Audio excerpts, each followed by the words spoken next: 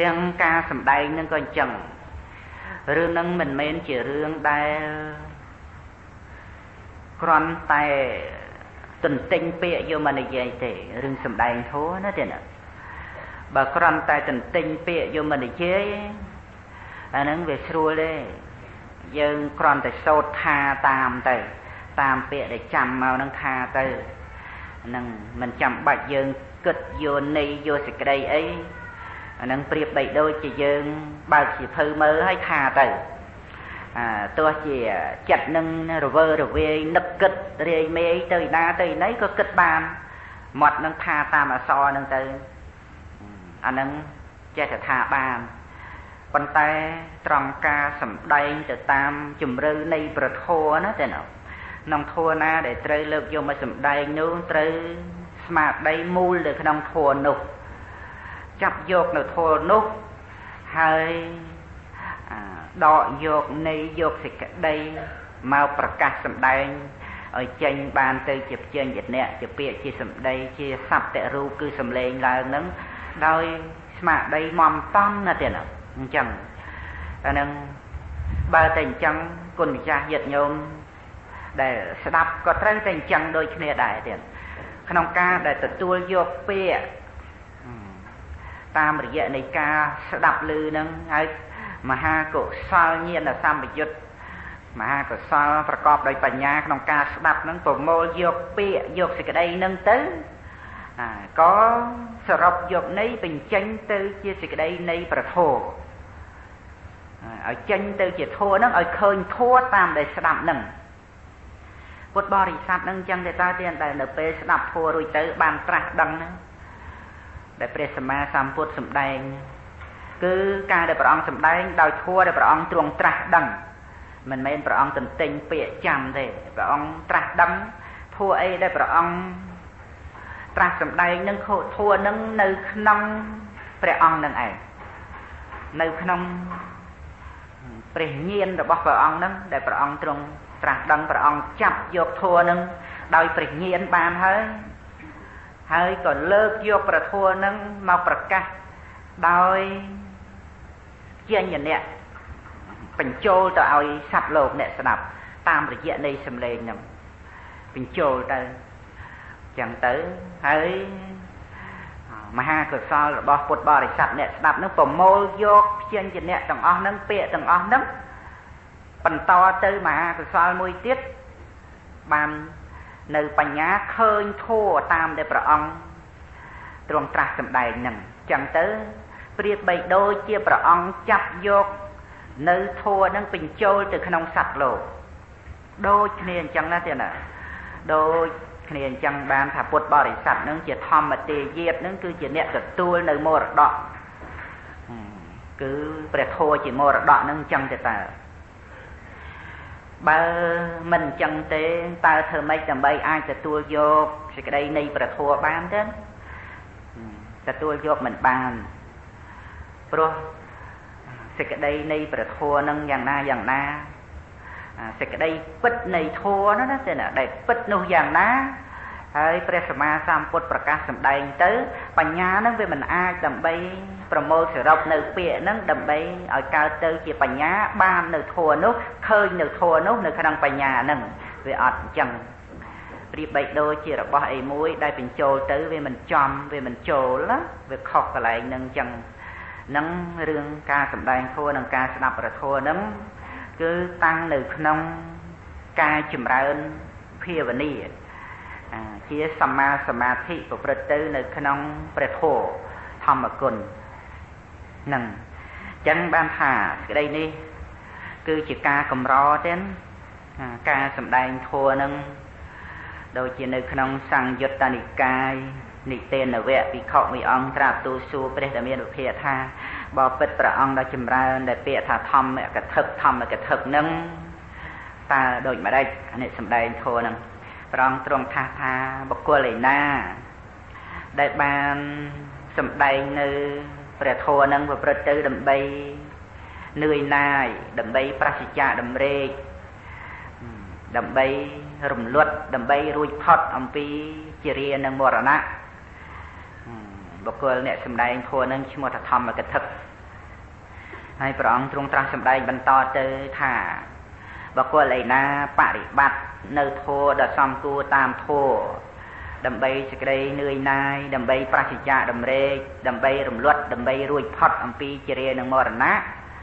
អាគល់នោះឈ្មោះថាជាអ្នកបប្រតិបត្តិនៅធម៌ដល់សំគូដល់ធម៌ហើយជាអ្នកបាននៅព្រះនិព្វានក្នុងបច្ចុប្បន្នទិដ្ឋធម្មៈនិព្វានណបតោគឺដល់នៅព្រះនិព្វានក្នុងទិដ្ឋធម៌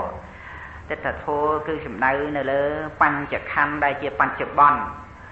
ចឹងបុគ្គលដែលប្រតិបត្តិនៅធัวដែលសំគួរតាមធัวហ្នឹងគឺជាការប្រតិបត្តិដើម្បីសេចក្តីលឿយណាយដើម្បីប្រះចាតម្រេកដើម្បីក្តីរំលត់រួចផុតអំពីជារានិងមរណៈគឺរួចផុតអំពីបញ្ចខណ្ឌហ្នឹងណាទេណាដែលមានជារានិងមរណៈហ្នឹងចឹងសេចក្តីហ្នឹងនៅក្នុងបញ្ញខណ្ឌនេះព្រះសម្មាសម្ពុទ្ធព្រះអង្គទ្រង់ត្រាស់សម្ដែងជាបន្តបន្តទៅ 14បញ្ចខន្ធេអាទីនវៈតោបញ្ចខណ្ឌហ្នឹងគឺជាទុកជាទីតាំងនៃទុកទុកផ្សេងផ្សេងច្រើនប្រការព្រោះបញ្ចខណ្ឌនឹងជាទោសនឹងយ៉ាងណាយ៉ាងណា បញ្ញានឹងក៏ត្រូវបានឃើញច្បាស់ដូចជាផ្ទះដែលបាក់បែកដែលបុគ្គលនៅក្នុងផ្ទះនោះ ត្រូវក្បឿងធ្លាក់ចំរបួសបែកក្បាលហូរឈាមចឹងទៅឬក៏ត្រូវគ្រឿងសម្ភារៈផ្សេងផ្សេងបាក់ធ្លាក់មកត្រូវរហូតដល់ទៅផ្ទះនោះឯងបាក់គ្របសង្កត់នឹងទៅទៀតអានេះគឺជាទោសរបស់ ផ្ទះចាស់ជារាក្រំគ្រានឹងយ៉ាងណាបញ្ញខណ្ឌនេះក៏ប្រៀបបីដូចជាផ្ទះនៃចាស់ជារាក្រំគ្រានឹងចឹងដែរជារបស់ដែលមានទោសច្រើនណាស់ទៀតនាំមកនៅសេចក្តីទុក្ខលំបាកសពគ្រប់ទាំងអស់តាមរយៈរូបតាមរយៈវេទនាដែលសោយអារម្មណ៍តាមរយៈនៃការចាំអារម្មណ៍តាមរយៈនៃសង្ខារខណ្ឌនិងវិញ្ញាណខណ្ឌ បុគ្គលដែលអាស្រ័យនៅក្នុងបញ្ញខណ្ឌនឹងក៏រមែងបានដល់នៅសេចក្តីទុក្ខដូច្នេះកាលដែលមានបញ្ញាឃើញទុក្ខទោសក្នុងបញ្ញខណ្ឌហើយក៏ត្រូវតែដើរចេញចាកចោលនៅបញ្ញខណ្ឌនឹងចឹងដែរមិនមែនជារឿងដែលចេះតែព្រមនៅក្នុងបញ្ញខណ្ឌដែលប្រកបទៅដោយទោសនោះឡើយបញ្ញខណ្ឌនឹងទោសច្រើនទៀតដូចជាអសេរពឹស មិនគួរដើម្បីនឹងបបោះអែលចាប់លេងអសេរពឹសពោះដែលមានពឹសនឹងទេព្រោះថាពោះដែលមានពឹសនឹងជាទោសប្រកបទៅដោយទោសឬថាបញ្ញខណ្ឌនឹងប្រៀបបីដូចជាឆ្នាំពឹសមិនកបីគួរដល់ការបរិភោគព្រោះថាបើបរិភោគនឹងដល់នៅសេចក្តីស្លាប់ឬទុក្ខវេទនាស្ទើរតែនឹងស្លាប់ បញ្ញខណ្ឌក៏អញ្ចឹងក៏ត្រូវតែរត់គេចចេញអំពីបញ្ញខណ្ឌនឹងទៅតាមផ្លូវដ៏ប្រសើរទៀតហើយផ្លូវដ៏ប្រសើរហ្នឹងមិនក៏គឺអ្វីក៏គឺជាបញ្ញាដែលឃើញបញ្ញខណ្ឌជាទោសនឹងឯងព្រឹកទៅដោយសេចក្តីនឿយណាយឃើញថាបញ្ញខណ្ឌនឹងមិនមែនជាយើងហើយក៏មិនមែនជារបស់យើងប្រកាសជាទោសនឹងតែម្ដងការដែលបកុលមិនអាល័យព្រឹកទៅដើម្បីសេចក្តីនឿយណាយអានឹងជាផ្លូវដើម្បីដើរចេញ មានទោសច្រើនប្រការបញ្ញខណ្ឌនឹងមិនអាចដើម្បីនឹងពួនសំងំនៅទេ គឺជាខ្មាំងទេជាខ្មាំងជាសត្រូវដែលនាំមកនៅភ័យយន្តរាយគឺអន្តរាយភ័យដោយប្រការផ្សេងផ្សេងនៅក្នុងបញ្ញខណ្ឌនឹងទុកទោសគ្រោះថ្នាក់សពថ្ងៃក៏អាស្រ័យបញ្ញខណ្ឌបើមិនមានបញ្ញខណ្ឌហើយ និរោធោគឺជាការរំលត់នៅបញ្ញខណ្ឌអាណាទីនវាំងគឺថាអត់មានទោសនិព្វាននន្តិគឺព្រះនិព្វាននឹងអាណាទីនវាំងអត់មានអីដែលជាទោសដោយរូបអត់មានអីជាទោសដោយការសោយអារម្មណ៍ដោយការចាំហើយដោយសង្ខារខណ្ឌមានផាសៈជាដើមមានវិញ្ញាណខណ្ឌដោយចក្ខុវិញ្ញាណជាដើមគឺអត់មានរបស់ទាំងអស់ហ្នឹងប្រកបជាទុក ជាបរមសុខដ៏ខ្សែមដែលមានលក្ខណៈជាសេចក្តីស្ងប់គឺស្ងប់នៅទុកទោសនឹងឯងព្រះនិព្វានណាទៀតណាអាណាទានវាំងគឺថាមិនមានទុកបដិបៈទុយពីបញ្ញខណ្ឌដែលជាអាទានវៈតោគឺបញ្ញខណ្ឌនឹងជាទុកអញ្ចឹងបញ្ញខណ្ឌជាទុកព្រះនិព្វានមិនមានទុកព្រះនិព្វាននឹងបដិបៈអំពីខណ្ឌ ដែលប្រគុណម្ចាស់ញាតិញោមអាចបានដល់នៅព្រះនិព្វានដែលមិនមានទុកនោះហើយមិនត្រឹមតែប៉ុណ្្នឹងទេបញ្ចខណ្ឌភេអខៈមូលតោបញ្ញខណ្ឌនឹងជាឫសគល់នៃសេចក្តីលំបាកទុកលំបាកទេបញ្ញខណ្ឌនឹងមិនត្រឹមតែទុកលំបាកដោយខ្លួនឯងដែលជាអខៈតោទេតែមទាំងអខៈមូលតោគឺជាឫសគល់ ជាហេតុនៃសេចក្តីទុកផ្សេងផ្សេងច្រើនទៀតអាគឺជាឫសគល់ជាហេតុនៃសេចក្តីលំបាកច្រើនយ៉ាងក្នុងការដែលមានជាតិកំណើតមកលំបាកក្នុងការរស់នៅព្រោះត្រូវរក្សាការរស់នឹងស្វែងរកអាហារបរិភោគស្វែងរកនៅបច្ច័យទំនុកបំរុងជីវិតនេះជាតិកំណើតនេះត្រូវការសពគ្រប់ទាំងអស់ ត្រូវការយើងពិចារណាមើលទៀតគ្រាន់តែរឿងទឹកមួយតើយើងបញ្ញខណ្ឌអត់ទឹកបានទេអត់ទឹកបានយ៉ាងម៉េចទៅកើតទៀតទឹកនឹងចាំបាច់សពគ្រប់ទាំងអស់ហើយព្រោះតែត្រូវការទឹកនឹងត្រូវធ្វើម៉េចត្រូវជីកអណ្ដូងហើយដើម្បីជីកអណ្ដូងនឹងត្រូវធ្វើម៉េចមិនមែនជីកដៃបានណា ត្រូវការសម្ភារៈយកទៅជីកត្រូវការស្វែងរកប្រាក់ដើម្បីទៅជីកអណ្ដូងឲ្យបានទឹកហើយជីកអណ្ដូងបានហើយមិនដឹងជាបានទឹកពីណាត្រូវរត់ទឹកដាក់អណ្ដូងនឹងតម្រាំទៅដល់ពេលភ្លៀងហើយត្រូវការពារទឹកនឹងលំបាកទេទេណាព្រោះបញ្ញខណ្ឌនឹងណាមួយគោក្របីវាចោះជ្រុកវាចោះមន់ទេវាចោះទៅនាំឲ្យមានសេចក្តីលំបាកព្រោះតែរឿងបញ្ញខណ្ឌនឹង រៀបរាប់មិនអស់ទេទេអាស្រ័យបញ្ញាពុទ្ធចាស់ញាតិញោមធ្លាប់សន្សំការធុញច្រន់នឿយណាយទាំងបញ្ញខណ្ឌមករឿយរឿយជ្រាបស្រាប់ហើយចឹងបានទឹកហើយត្រូវការគ្រឿងប្រដាប់យកទៅដងទឹកយកទៅរែកទឹកហើយត្រូវរក្សាការពារឡាំងកថាំងដងរែកនឹងទៅទៀតក្រែងនោះគេខ្ចីគេខ្ចីហើយប្រយ័ត្នប្រយែងគេយកមកឲ្យឲ្យនៅក្រែងនោះគេមិនបានឲ្យវាភ្លេចទៅវាបាត់ទៅ ចឹងវាលំបាកចឹងជួនកាលត្បិតត្បៀតពេកទៅគេខ្ចីមិនឲ្យក៏ឆ្លោះតោះតេងគ្នាអអន់ចិត្តទៅបង្កឲ្យមានទៅជាសេចក្តីចំណែនឈ្នានេះជាបាតគ្នាអញ្ចឹងទៅទៀតទៅលំបាកទេទេណានឹងត្រឹមតែមួយរឿងទឹកអញ្ចឹងហើយដើម្បីបានទឹកនឹងមកឥឡូវបានហើយយកមកដាំបាយនិយាយបន្តិចទៅរឿងទឹកនឹងយកមកដាំបាយ ដាំបាយអត់ទឹកបានទេទេណាអត់ទេដាំបាយយកទឹកដាំអញ្ចឹងទៅហើយដាំបាយនឹងត្រូវប្រកាត់ភ្លើងទៀតណាត្រូវរកភ្លើងដាំបាយទៀតណាហើយប្រកាត់ភ្លើងនឹងវាមានវាមានអីណាបើទៅរករកភ្លើងរកដាច់ខិតរកជើគប់ហើយត្រូវរក្សាទុកដាក់ដាច់ខិតជើគប់នឹង គ្រាន់តែគ្រឿងបន្តិចបន្តួចតូចតាចហ្នឹងក៏ត្រូវតែរវល់លំបាកដើម្បីថែទាំរក្សា បាត់ទៅច្រឡំដៃទៅខឹងទៅនឹងទុកឯណាអីឯណាដែលមែនទេនៅដែលខិតកាន់ដៃហ្នឹងឯងដើររយវីខិតនៅណាទុកលំបាកណាស់ទេហើយដាំបាយបានហើយឆ្លងបានអីធ្វើមកហូបហើយរកអីផ្លែផ្សំសពគ្រប់ចឹងតម្រាំតែបរិភោគឆ្អែតនៅពេលហ្នឹងទៅឃ្លានវិញតដែរអាឃ្លានវិញហើយការដែលបានរស់ដោយហាអាហារហ្នឹងរស់ហ្នឹងក៏ព្រោះអាស្រ័យការរស់ហ្នឹងក៏ត្រួតត្រងនៅសេចក្តីទុកច្រើនទៀតព្រោះតែការរស់ហ្នឹងបានថាជីវិតដែលរស់នឹងបើកុំតែត្រូវអាស្រ័យការប្រព្រឹត្តព្រះមច្ចរិយធម៌ក៏មិនដឹងជាការរស់នឹងបានប្រយោជន៍អីណាទេណាបានព្រះអង្គព្រះសម្មាសម្ពុទ្ធទ្រង់ត្រាស់សម្ដែងរឿយរឿយថា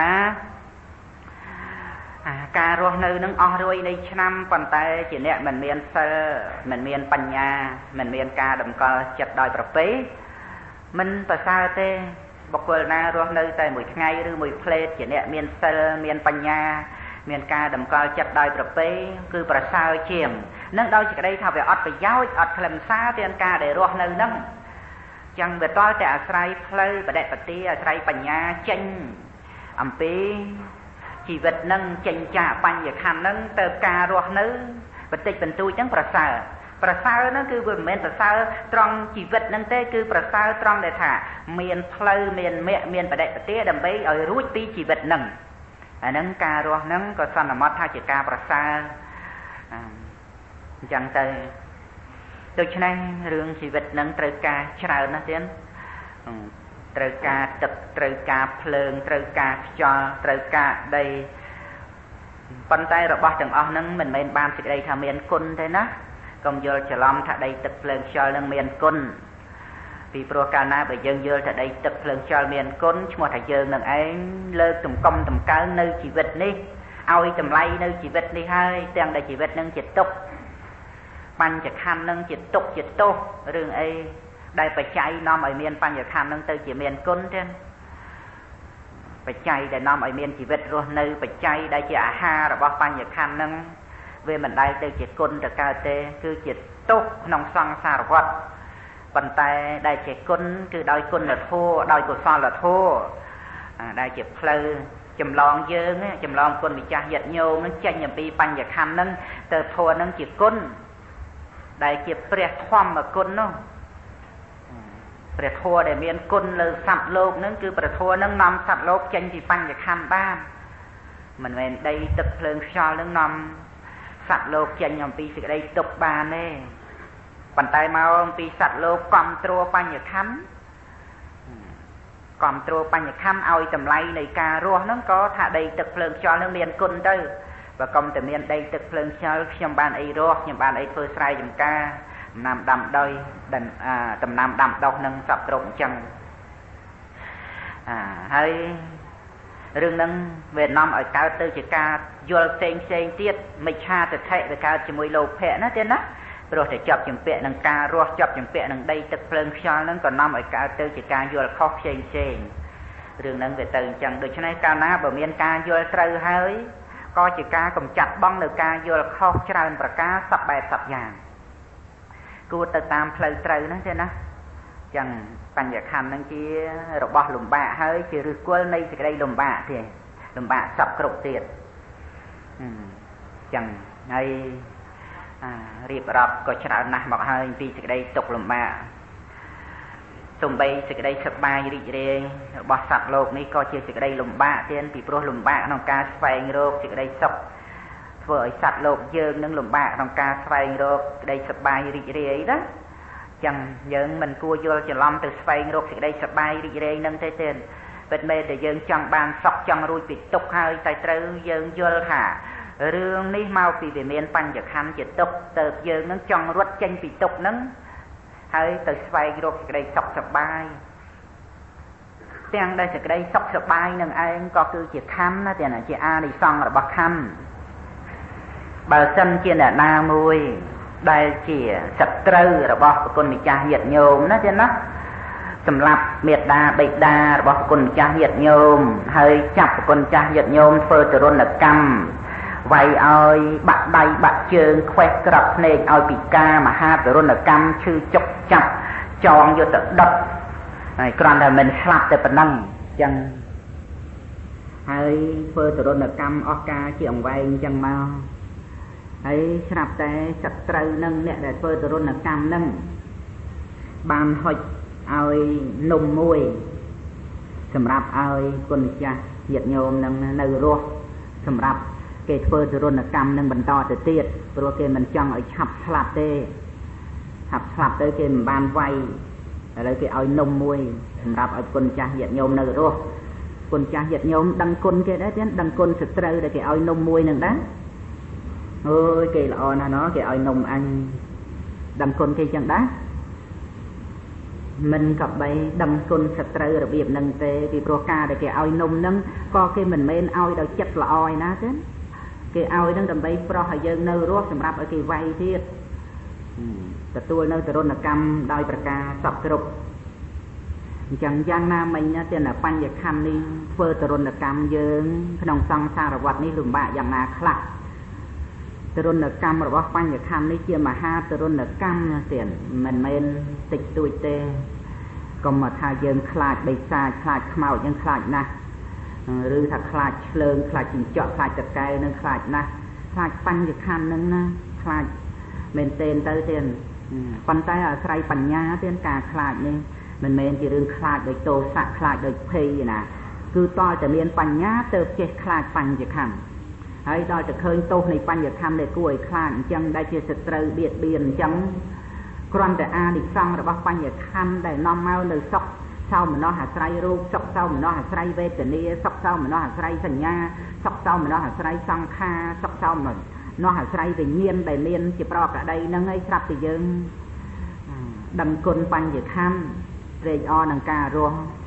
សំបើអីដែលយើងត្រូវទៅត្រេកអរនឹងរបស់នឹងទៀត ព្រោះរឿងរបស់ទាំងអស់នឹងសម្រាប់ឲ្យយើងនឹងឯងបន្តការកើតទៀតណាទៀតណាបន្តភពជាតិកំណើតទទួលនៅសេចក្តីទុកទោសទរណកម្មបន្តទៅទៀតអស់កាលជាអង្វែងណាដោយសារអីដោយសារតែសុខសង្ឃមនោដែលជាអានិសង្ឃរបស់ខណ្ឌនឹងវាជារឿងខណ្ឌណាទៀតណាវានៅក្នុងដៃរបស់សត្រូវណារបស់នឹងណាវាមិនមែនជារបស់ផុតពីដៃសត្រូវទេសុខសោមនស្សនឹង វាអាស្រ័យរូបសុខសោមនស្សអាស្រ័យវេទនាអាស្រ័យសញ្ញាបានវាមានសុខសោមនស្សនឹងអាស្រ័យសង្ខារអាស្រ័យវិញ្ញាណបានវាមានសុខសោមនស្សនឹងចំណៃនឹងវានៅក្នុងដៃសត្រូវដែលហុចមកឲ្យទេ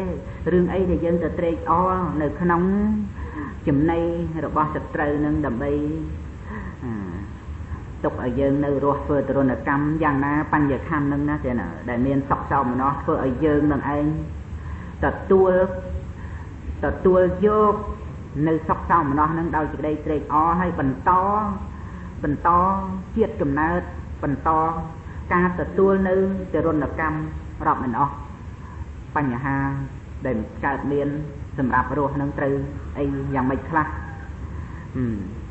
សម្រាប់ចោលលួចក៏នាំឲ្យភ័យសម្រាប់ចោលប្លន់ក៏នាំឲ្យភ័យនឹងមកពីអីមកពីមានជាតិណា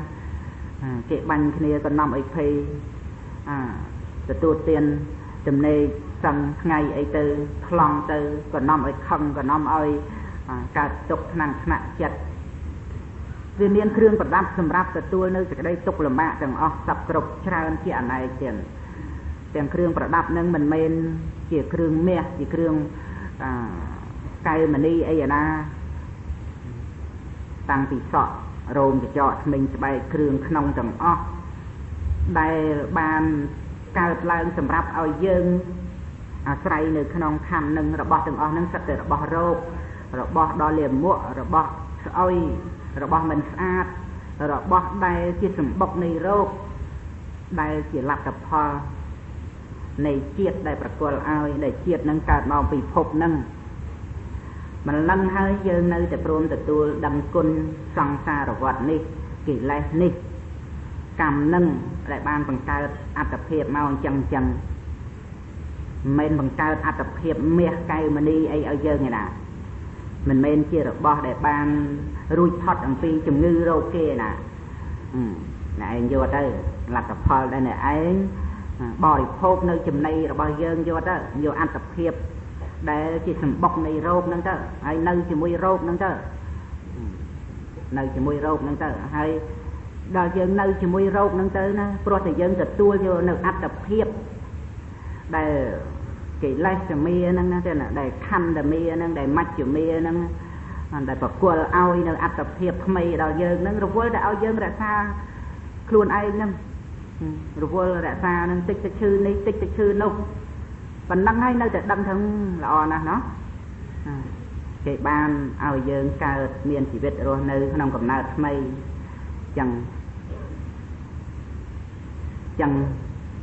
ដូចជាសត្រូវចឹងសត្រូវរបស់យើងដែលធ្វើនៅអំពើមិនជាប្រយោជន៍ឲ្យយើងណាទេណាវាយធ្វើទរណកម្មយើងសពគ្រប់ហើយបញ្ជូនយើងឲ្យទៅនៅក្នុងផ្ទះលិមកផ្ទះដែលគេបន្តបងនៅលិមក